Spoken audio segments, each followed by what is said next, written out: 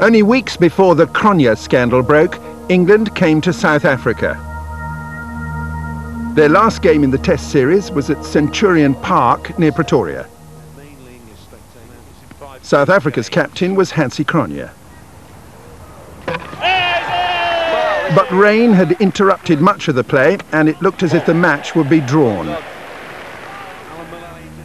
On the fourth evening of this test, Cronje was phoned on his mobile by a professional gambler. The caller wanted him to declare early and make a game of it. Hansie picked up the phone, said Hansie, I introduced him myself, who I was, etc. And I gave him the suggestion. At the time, yes, to get his attention, etc., I said, listen, what about the donation of about 200,000 Rand, if you can get this to happen from a, to, to a charity of your choice? Now, that was also part of him to listen to. Who, why normally should the member of a South African cricket team listen to any total stranger?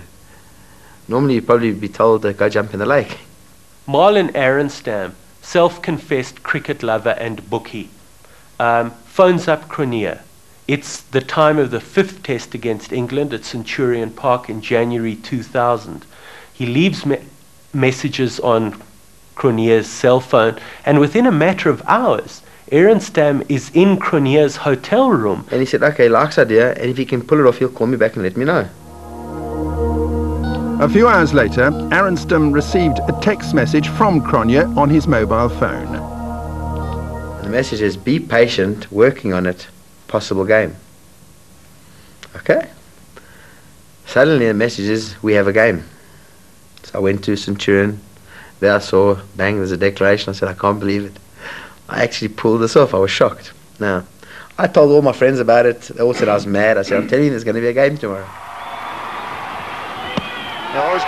Aaronstam says he was too late to make any money out of this game, and he certainly could have done. The match turned out to be an unexpected win for England. But Cronje made money. Aaronstam paid him 53,000 rand, and the text messages continued. Why did he keep sending you text messages on your mobile phone after you had paid him 53,000 rand? But that's what I paid him the 53,000 rand for, to get all the information for the following one, one day series coming up, hopefully for information coming up. The 53,000, the 50,000 rand was paid to him as a deposit for information for the future. The 3,000 rand was paid because he gave me good information on one match. So how much money did you make out of gambling on cricket as a result of the information that you got from Hansie Cronje? Well, each that's certain things I can't. That's the certain things that's I don't know. If you had to ask me exactly now, I can't tell you either.